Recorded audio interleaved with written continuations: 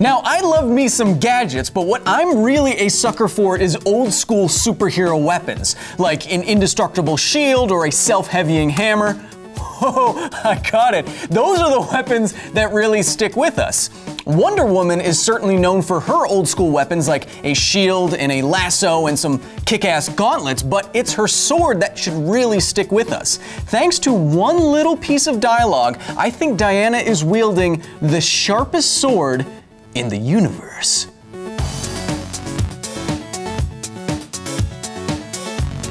The latest iteration of Wonder Woman brings along all of her classic Amazonian weapons, including her sword, but in the films, her sword is nowhere near as powerful as it is in the comics. I'm talking specifically about this gorgeous miniseries called Kingdom Come by Alex Ross and Mark Waid. In these panels, right here, you can see that Diana's sword actually cuts Superman because it can, quote, carve electrons off an atom.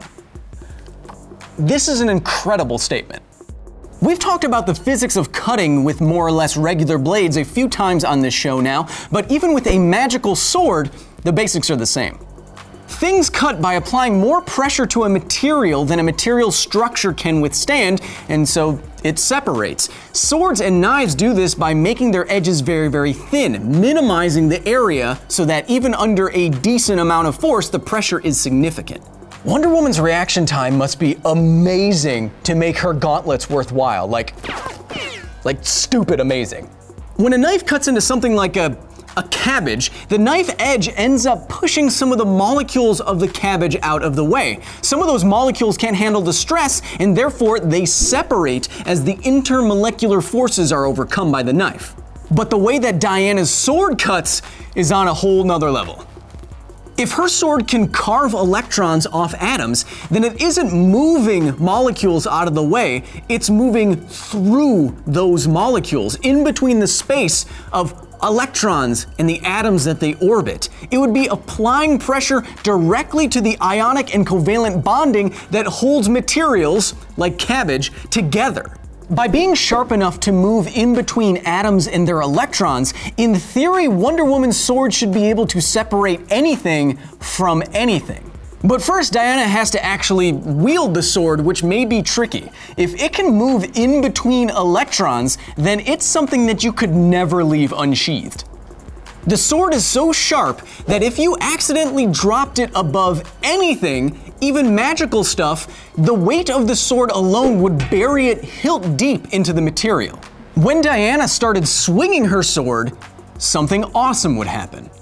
All blades are sharp enough to move through the air, but Diana's is sharp enough to move through the air. Even with a simple swipe, the blade would separate atmospheric atoms from their electrons and ionize them. I mean, bullets travel hundreds of meters per second, so at any reasonable distance, Wonder Woman's reaction time has to be like 10 times the average.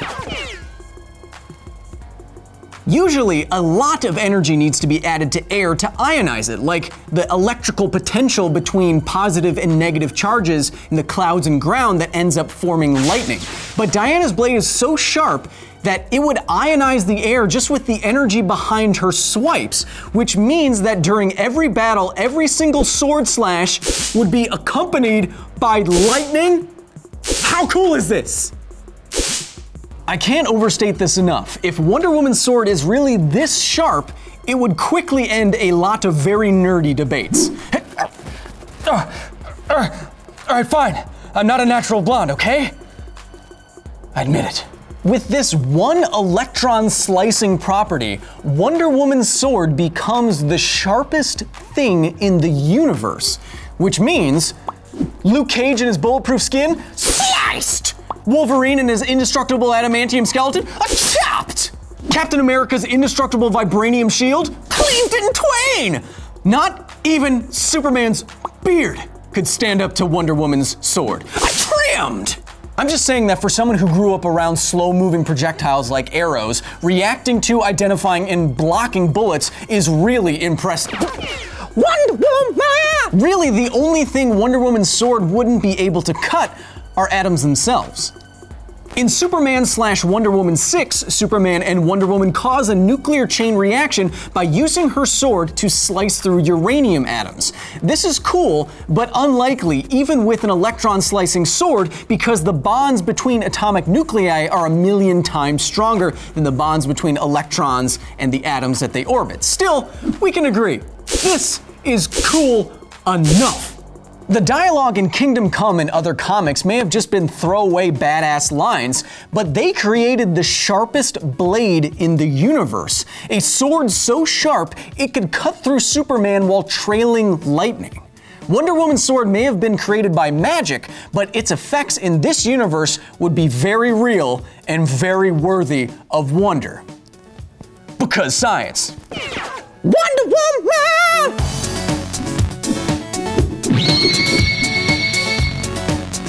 Thank you so much for watching. Make sure to follow me on Twitter at Sci_Phile, where you can suggest ideas for future episodes, and on Instagram and Facebook, where I'm now posting mini episodes of this show like I did today. Go check them out, they're fun, and I'll talk to you personally. Probably. Yeah, I will. It might take me a while, but I'll get to it, maybe. Oh, I didn't call didn't call it yet. Ha! Dang it! Jeez! Jeez! Oh! fuck! One more time! Thunder! Yes!